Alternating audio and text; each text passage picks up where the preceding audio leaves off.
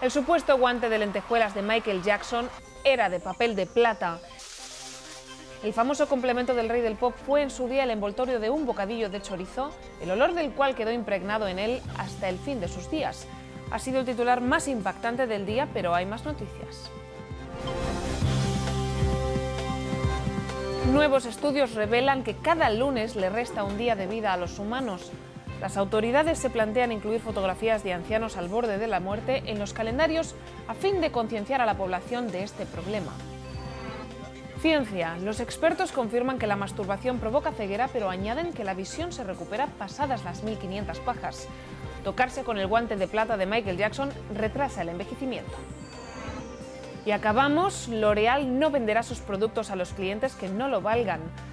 Lamenta que muchos se hayan sentido identificados con el eslogan y hayan experimentado un incremento injustificado en su autoestima.